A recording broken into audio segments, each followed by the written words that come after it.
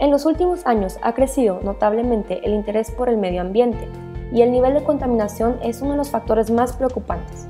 En el área de residuos, el mayor problema que se enfrenta consiste en los polímeros plásticos, ya que al mismo tiempo que se producen también se desechan. Además, en una investigación hecha por Plastic Europe, se calculó que anualmente cada persona consume aproximadamente 54 kilogramos de plásticos. Debido al difícil proceso de reciclado de estos polímeros plásticos, se hicieron diferentes estudios para crear formas alternas de estos. Por medio de la biotecnología se crearon los polímeros biodegradables, que pueden ser transformados en sustancias simples y ser eliminados del medio ambiente por medios naturales. Los plásticos son polímeros sintéticos que son creados por el hombre para darles características y funciones específicas. Estos plásticos son imposibles de biodegradar debido al arreglo molecular que tienen los polímeros, ya que las cadenas moleculares son muy difíciles de romper. Los plásticos están hechos de compuestos orgánicos derivados del petróleo que le dan a cierta temperatura propiedades de flexibilidad y elasticidad que permiten moldearlas y adaptarlas en diferentes formas dependiendo su aplicación. Cada tipo de plástico está clasificado dependiendo del polímero con el que está hecho. El objetivo de esta clasificación es identificar con facilidad el tipo de polímero que es para hacer el uso correcto del reciclaje.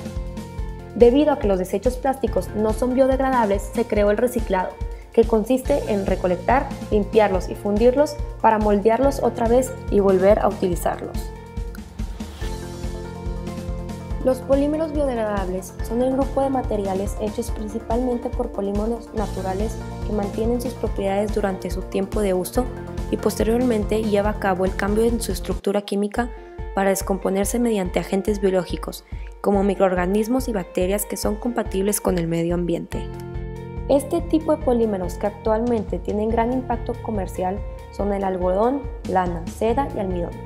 También existen los polímeros semisintéticos, que son los polímeros obtenidos por la transformación de polímeros naturales como el caucho y la nitrocelulosa.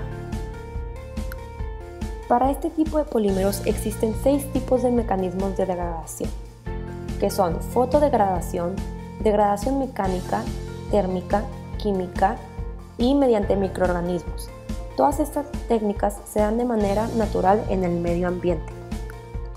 Además de que los polímeros biodegradables tienen la capacidad de descomponerse, tienen muchos más beneficios, como mejor funcionalidad, ya que pueden soportar diferentes temperaturas. También se conserva la energía, ya que requiere menos energía para reciclar o producir estos productos.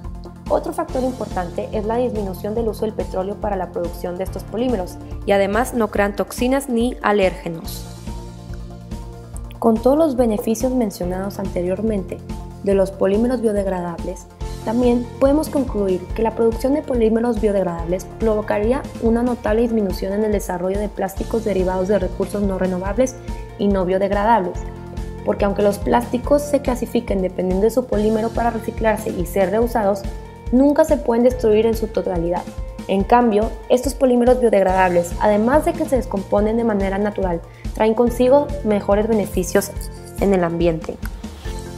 Con una continua investigación acerca de los polímeros biodegradables y una conciencia global, se puede fomentar la producción de estos para ayudar a resolver el problema de residuos y contaminación del medio ambiente.